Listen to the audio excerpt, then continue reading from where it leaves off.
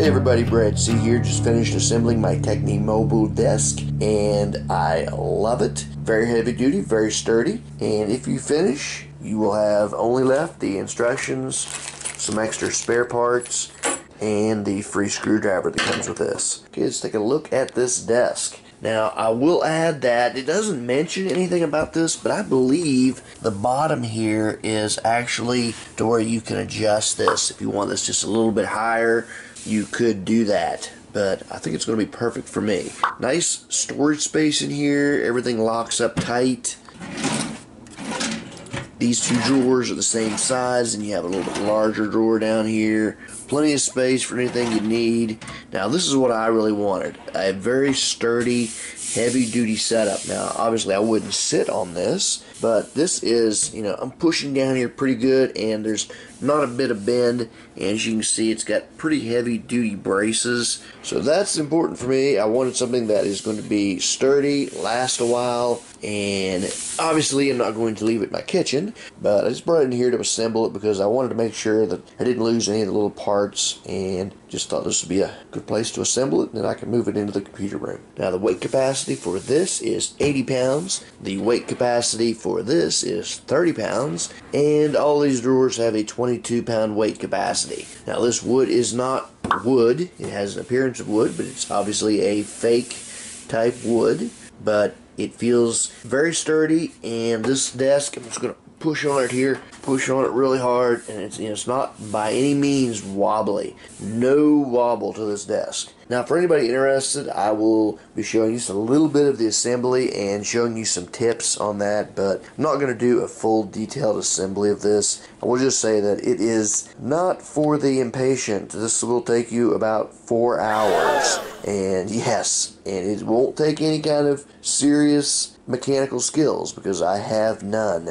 But if you can use a Phillips head screwdriver and use a cam lock system and it's not going to be anything that difficult. Probably a sixth grader could put this together and not have a problem. Just they need to be very patient because it's going to take a long time. I'm going to be testing this desk out and I will do some updates on it possibly, but as of now, I highly recommend this. There's a reason it has almost five solid stars on Amazon, so I would definitely suggest it. I'll put links down in the description. Click on that link, and just by looking, you'll help support the channel, so I appreciate that that. Make sure you like, subscribe. You can check me out at bradctv.com. Okay, if you want to stick around, I'm going to talk a little bit about the installation of this, and we'll go from there. First thing I want to show you is the packing is really nice.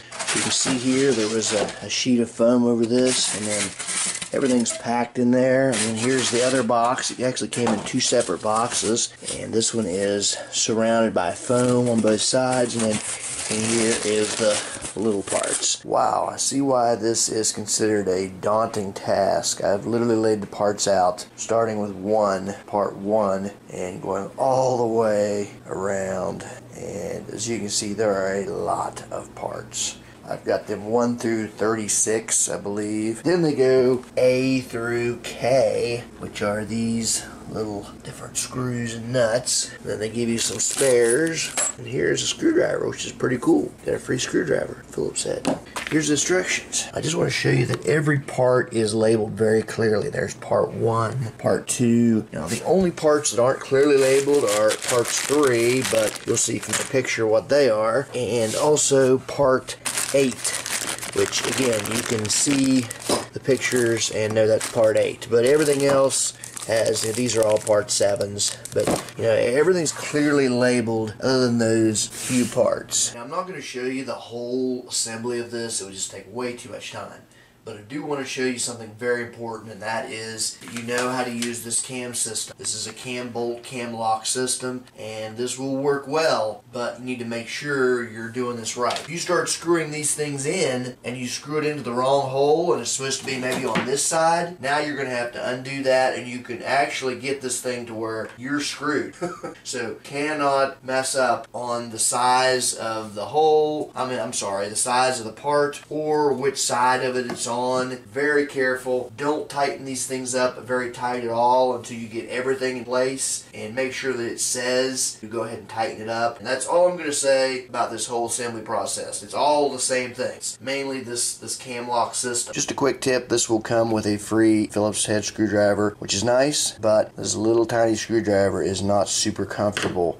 And luckily my father-in-law just got me a new tool set and this one actually has a torqueable end where you know I can stick something through there and actually torque on this if I need to, to, to put some extra oomph into it. So might want to have a nice comfortable Phillips head screwdriver. Just wanted to point something out. Now here you can see on page 6 where it says sometimes the hole might be too small and you're supposed to punch it out with I don't know they, they show some sort of a punch here. I don't know. I don't, I don't see that included. So basically what I'm doing is you're gonna find that at least on mine here these two holes and on this one over here um, they're just too small. So you're gonna take your screwdriver and punch it out a little bit same thing with that one and same thing with these two Okay, we are at the point now when we have both of the towers connected by this middle piece. And now we're going to put this fully assembled top on. And I just wanted to point out that make sure you get these on the right side. And I made the big mistake of taking left and right stickers off. Big mistake. So then I had to really look at the pictures and figure out. But remember, you want this to be sliding to where it pops out. See where these are at?